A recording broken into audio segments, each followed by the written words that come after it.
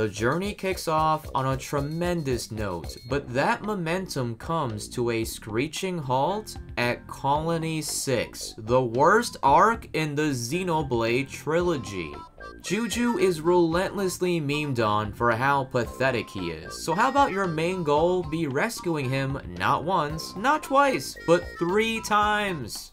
But that's not all. His sister, Sharla, is the worst written party member in the trilogy.